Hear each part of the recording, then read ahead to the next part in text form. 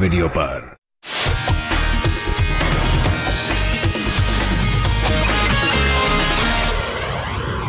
महाराष्ट्र में कोरोना काल में भी बकरीद पर सियासत हो रही है।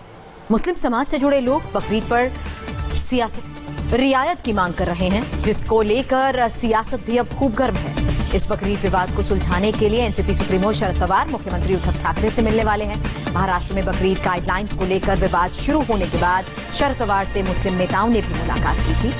अब उनकी मांग को लेकर पवार, सीएम उद्धव ठाकरे से मिलने वाले हैं। एलओसी से एक बड़ी खबर आ रही है। पाकिस्तान को गोलीबारी करनी भारी पड़ी है। खबर पर डिटेल ब्रेक के बाद।